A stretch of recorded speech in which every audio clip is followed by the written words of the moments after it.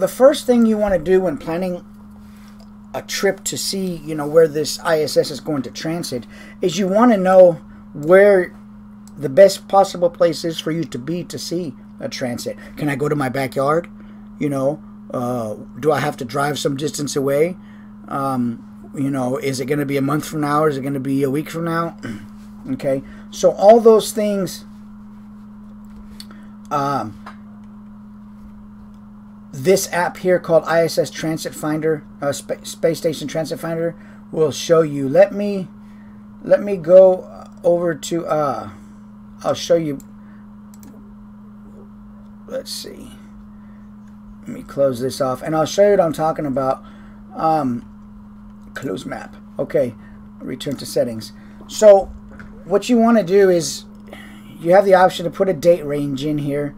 Um, auto auto detect is going to like a GPS. It's going to use your current location as its base point for the search, um, or you can select an area from a map, and then you select your date range. Okay, you know my current location for the next 30 days. Uh, you know within a 200 kilometer radius. I click calculate and see what's going to come up uh, for transits in that with with those um, with that data that I put in. Uh, and so let's click calculate. And what's going to come up here, this one here looks really good.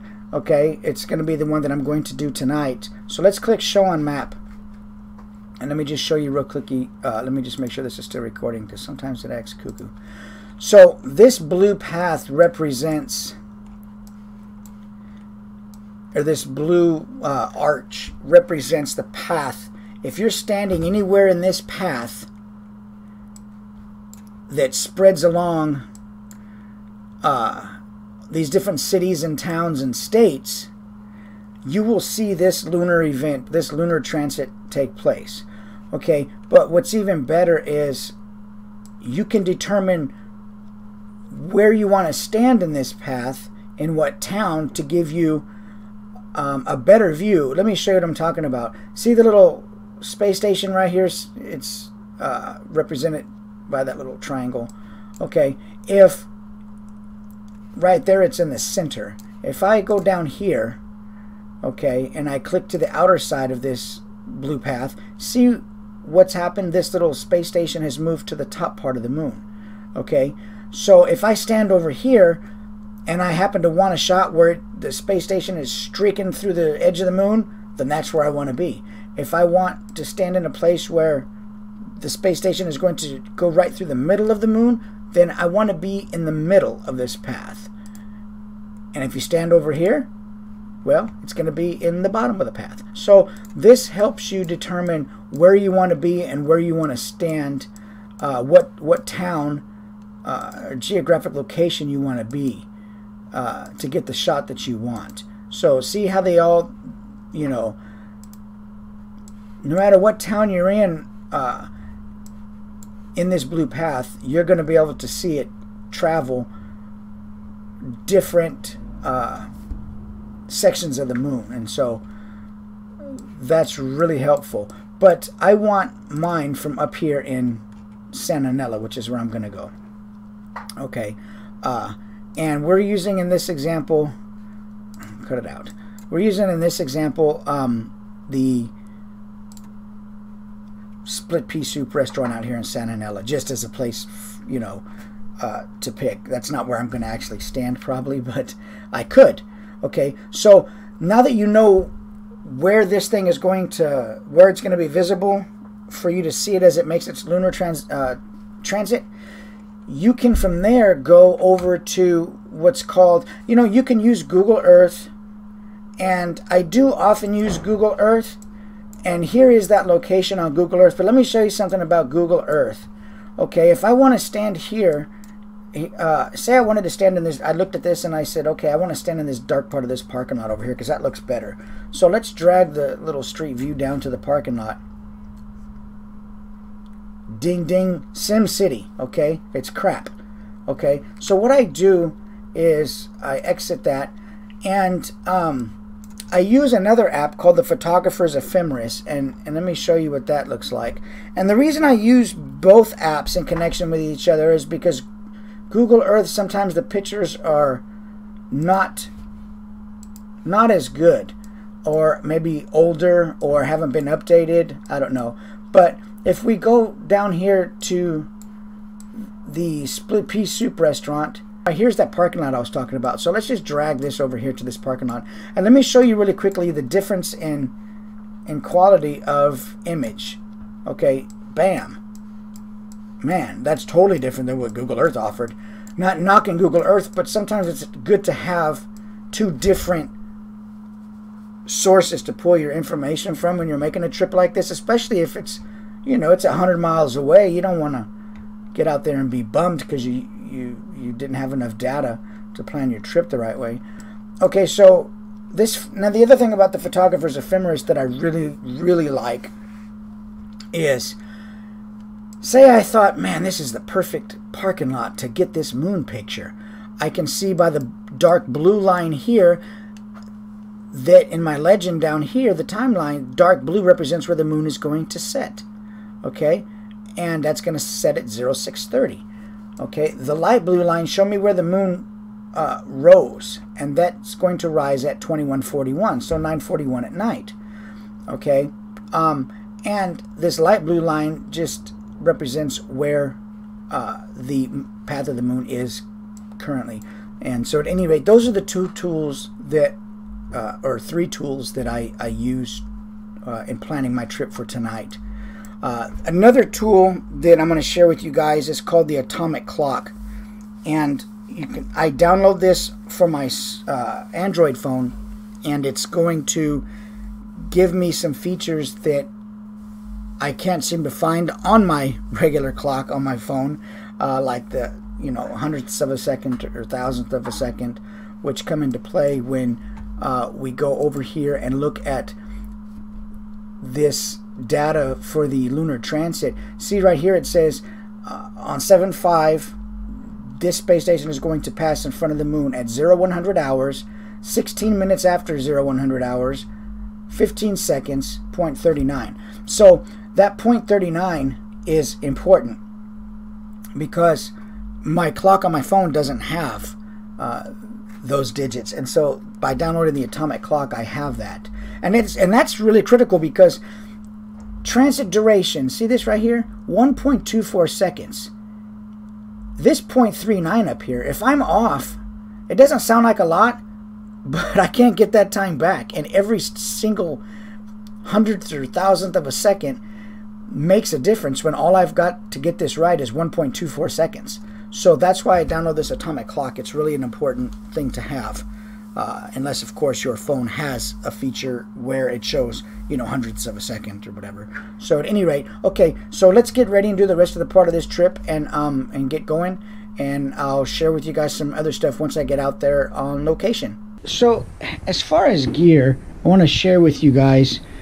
Uh, you don't have to have my my camera, obviously, my body, but what you do want to be able to have is at least something like a 300 millimeter lens, something that's going to give you some real, you know, bring the moon in. That little space station is like a little blip. Okay, so anything you can use to help bring that into, you know, uh, into frame and, and, and, and make it fill the frame more is going to help you. For this, you know, I have a uh, one of Canon's uh, 2X Mark III extenders on a 300 millimeter lens. So that's going to give me a 600 millimeter focal length. So we've got an extender and we've got a lens. And I can manually focus the lens. That's what's important. Uh, and I can, you know, also use from the back of the camera, I can focus in live view, which I'm really going to have to do with the moon tonight uh, and my glasses because without my glasses, I really can't focus. so at any rate, um, and the one of the other tools I'm going to be using is an intervalometer. And the reason I'm going to be using this, I'm going to use my intervalometer, and once it gets close to the time when that space station is supposed to pass, I'm just going to fire away until my buffer fills up. Okay. Once I get focus and I can look at my, you know, clock and I can say, okay, you know, I'm within one second of this transit happening. I'm just going to go ahead and fire off, uh, you know, enough frames to fill my buffer, and and hopefully I score the shot uh, of the, you know, uh, the transit happening. So at any rate, um, the intervalometer is handy for that because you don't have to touch the camera. A sturdy tripod is very helpful, um, which I have here. To, you know, and, I mean, you don't really need any really fancy gear. You just need something that's going to give you some some reach, a tripod, and a way to focus manually. And the intervalometer is helpful, and a clock you know, with hundredths of a second on it. I think it's hundreds or thousands. I don't know. Somebody will correct me, I'm sure. But at any rate, so that being said, that's the gear I'm using, and those are the apps that I'm using. So here's, I didn't get to show you folks earlier. I was talking about this atomic clock, and I downloaded it for my Android, and you can download it for your, you know, iPhone. Also, it's just, but the importance of using this tonight is that it has the hundredths of a second over there, or thousands, or whatever that is on the far right, that's going really, really fast. And the reason that's important is because my phone doesn't display that, that um, you know, in that style of, clock. And so, but the uh, International Space Station Transit Finder uh, app does display in that format. So, um, when you're dealing with something that only takes, you know, two seconds and it's gone, you need to be able to account for every second when you're taking the photo and be set up and ready to shoot, you know, at exactly the right second. So that's why this is important. I downloaded it. So at any rate, I wanted to share that with you guys. I didn't get to show it to you before we left, but now that I'm out here on location, I wanted to bring it up and, and let you see. It's called the Atomic Clock. So here we are in Santa Nella, California, which is another place where I uh, looked on the ISS Transit Finder and um, was able to line up a shot over here at Santa Nella off uh, I 5 and Highway 152 in California. So we're going to set up to take this shot. Should happen here at uh, just shortly after 0100 hours. It seems that the space station, the ISS Transit Finder, is it gives you a time, but then you should check that time again a, a couple minutes before you're actually going to uh, do your shoot because that time updates. Uh, double check the time in the app before you go to shoot. Get on location, know that you're going to be there at the time you need to be there, but then a few minutes before, double check and triple check that time because it seems to update right before uh, the transit happens. Auto detect because that's going to uh, GPS. It's going to see right where we are, and um, auto detect, uh, calculate, and it's going to bring up a list of transits that are going to happen. And this is the one we're interested in right here. So we're going to show on map. Okay, I'm going to zoom in on this, and uh, maybe we're going to zoom in on that. Let's uh, hang on. Let me get it back. get over here. Um, so we'll do show more information, and the time that the transit will happen is 01 16 15 27. Okay, let's see how that differs from what I got earlier today. Uh, 16 15 27. What I got earlier today was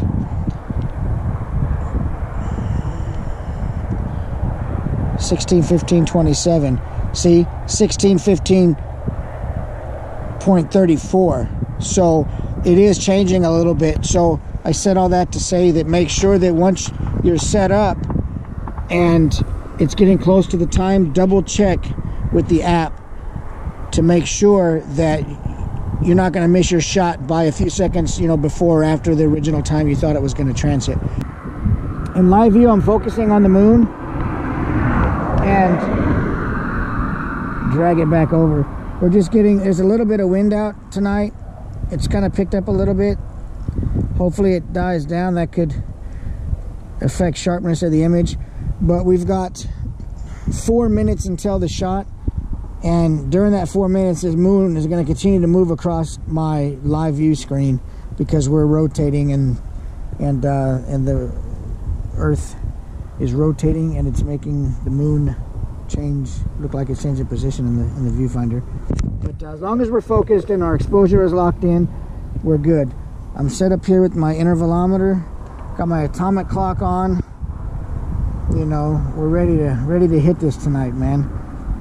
We've double checked our transit time, so everything's good. So we're gonna shoot this at 116.15, which is four minutes away from now. Since I know this moon is gonna continue to move through my viewfinder, I'm gonna bring it just a little bit over. So that way, as the minutes count down to my shot, I know it's gonna be in my frame. Let's get focus again. There we go. Okay, so now we're just waiting for the time.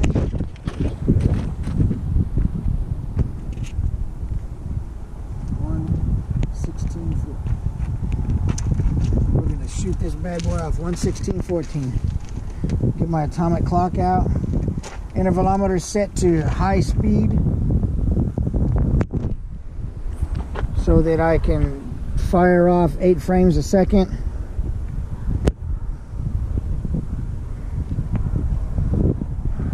And you'll see a little haloing on the back of the viewfinder here and some lens flare, but there's there's none in the uh, image itself.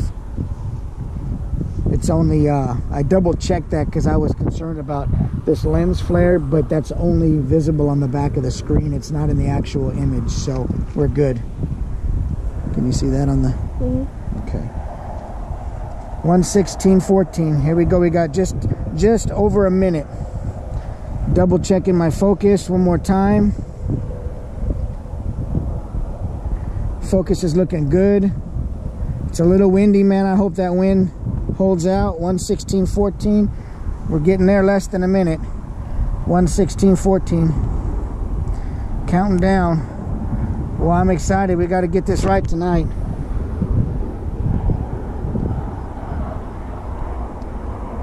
One sixteen fourteen. Come on, baby. Sound like I'm at the dang horse races. Come on, baby. One sixteen fourteen. Here we go. About 30 seconds.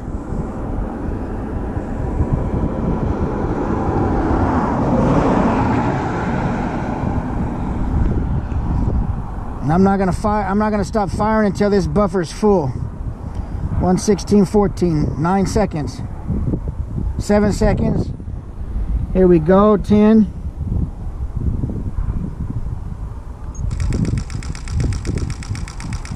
Filling that buffer up. There we go, baby. I better got something in there. Hey guys, thanks for watching the video all the way to the end. I hope you enjoyed this. One reason I filled the buffer is because in case there's any variance in time, uh, I want to make sure that I'm shooting as long as I can so that I don't miss anything in case, you know, there happens to be a glitch in the app or anything like that and I've wasted, I don't want to waste any time, you know, having driven that far out there. So I just, a second before that transit's supposed to happen, I'll st- I'll hit my button and I'll fill that buffer and I'll shoot until it stops. And that way I'm sure to have got something and not missed anything. Another side note, another app that I use is called WeatherBug. Always check the weather where you're going to uh, go shoot. Make sure that the weather is permissive for the type of shooting you're going to do. Thanks for watching, guys. Like and subscribe to my channel. Uh, I really appreciate all the support and all the comments and feedback. Follow me on Instagram, insightful underscore imagery, Facebook, uh, insightful imagery, and check out my website. Thanks a lot, guys. Take care.